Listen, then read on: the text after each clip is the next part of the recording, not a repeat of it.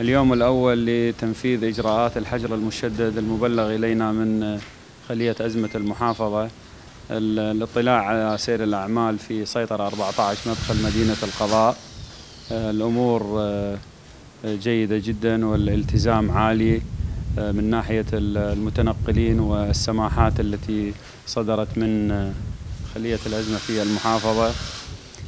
الأمور تقريبا توحي بالخير إن شاء الله. حظر التجوال منفذ بشكل جيد جدا. الأجهزة الأمنية تقوم بواجباتها على آه، أكمل وجه. آه، نتمنى استمرار هذه الحالة لحين انتهاء فترة الحجر البالغة أسبوع. ونتمنى السلامة للجميع في قضاء العلم وفي عموم محافظة صلاح الدين ومن الله التوفيق. الأهمية البالغة لمدخل مدينة وسيطرة 14 آه، وبمساعدة الكوادر الفنية والصحية والأمنية آه، بدأنا بنصب آه، محطة تعفير جديدة بمواصفات فنية جديدة. نتحمل تكاليفها بشكل تضامني مع قسم من الخيرين وقسم من المتبرعين الذين رفضوا ذكر أسمائهم.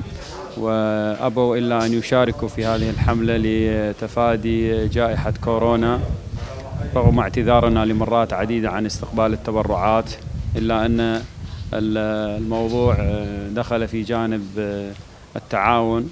لذلك وافقنا على مشاركة بسيطة كي تكون حافز للمواطنين في المشاركة بإلتزامهم بتعليمات خلية الأزمة وحظر التجوال وارتداء الكمامة. آه، ولله الحمد اليوم تكمل إن شاء الله غرفة التعفير الخاصة بالسيارات والعجلات المدنية المارة في سيطرة 14 وستباشر عملها بإذن الله عصر هذا اليوم إن شاء الله.